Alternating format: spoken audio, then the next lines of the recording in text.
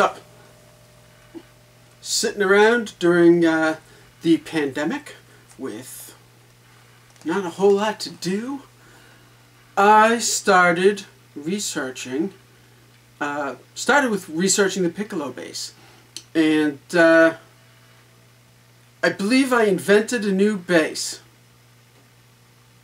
In so much as if restringing a standard bass with thinner gauge strings and tuning it up an octave makes it a piccolo bass, if you know that's inventing a new bass, then uh, I've invented a new bass.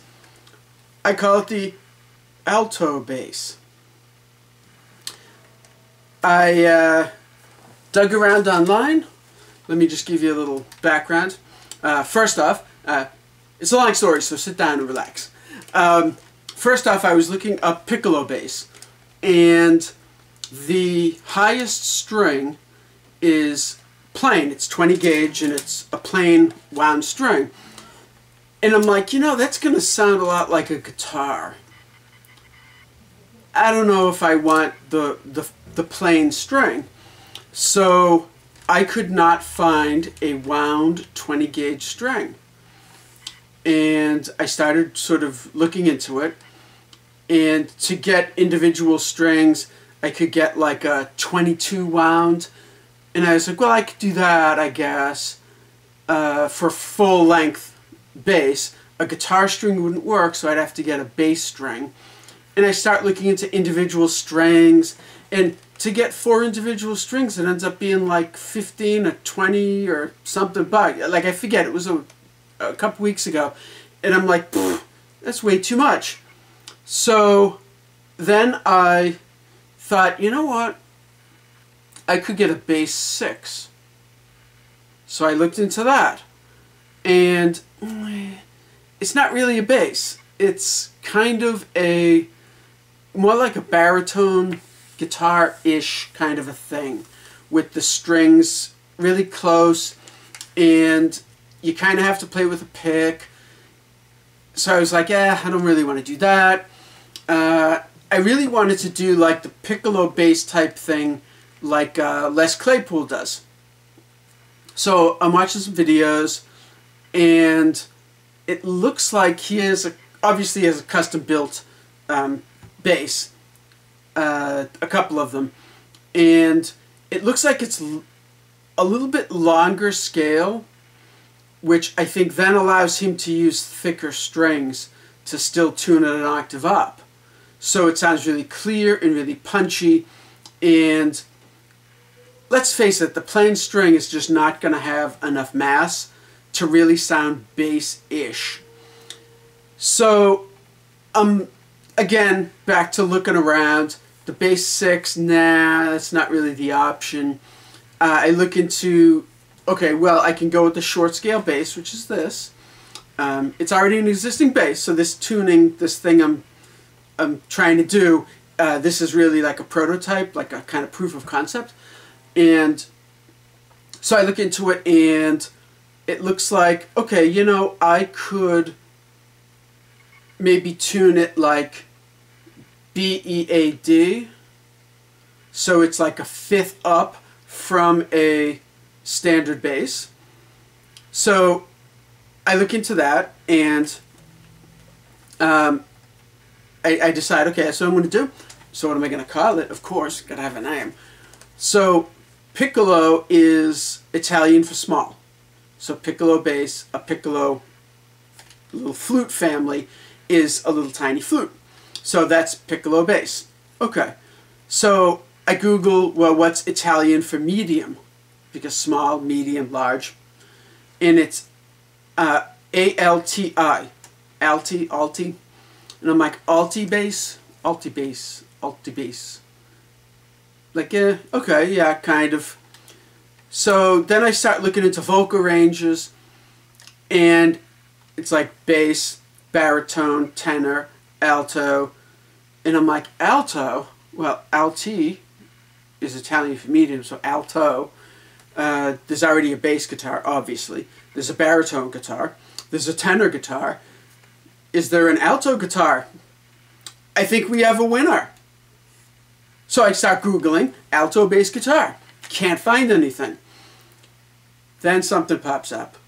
An alto guitar.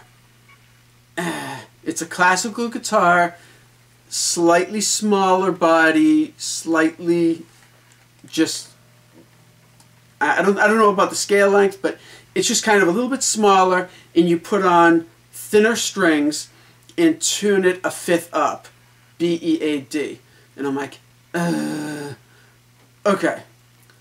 So I tried putting some guitar strings on the short scale bass and eh, it just sounds like a terrible guitar. It just doesn't have, um, I don't think the strings have the mass. It just doesn't work. So uh, then I commit with the, the alto bass kind of idea. Because I still sort of tried the piccolo, didn't work with the guitar strings. So I'm going to go with the alto bass idea. And um, so I string it up and the strings I was using, the gauges were still pretty thin, and it just didn't really have like a bass sound to it still. So I went up to a couple of thicker um, scale strings. And by the way, I know I a few minutes ago I complained about the price of all the strings. Uh, these are just strings that I have laying around. Uh, if I like say buy a used bass, I take the strings off of it uh, to put the set on that I like, and I just kind of keep the strings laying around because if I'm playing a show and I pop a string, string breaks, I just grab a used one, pop it right back on, and finish the four songs in the set or whatever. Uh, kind of pointless to keep opening brand new packs, which I kind of used to do, and you end up with like all these packs all missing like one string. So then you sit down and assemble full sets again and you always still have all the leftovers. So I'm like, ah. So anyway, these are strings that I just kind of had laying around. Um, and I ended up with tuning it to A. So, uh, tune to A and in fourth, just like usual. Uh, so what is it?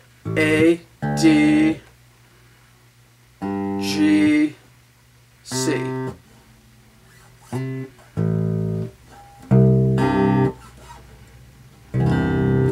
Okay, and as you can hear,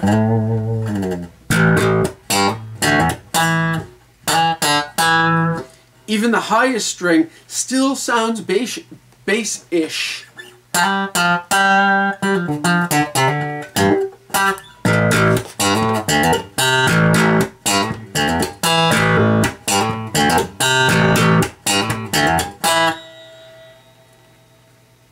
So, what do you guys think? I think I invented an instrument.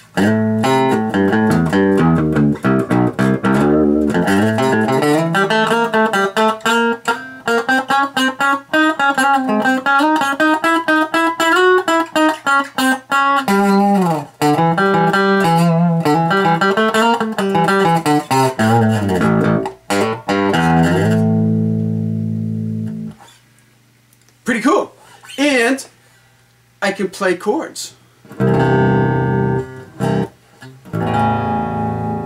Slightly out of tune. Because again, they're like used strings and stuff. It was just a proof of concept.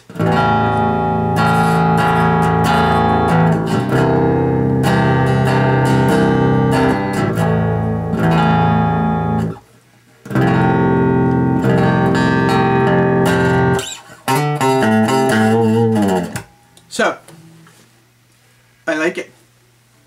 The alto bass guitar.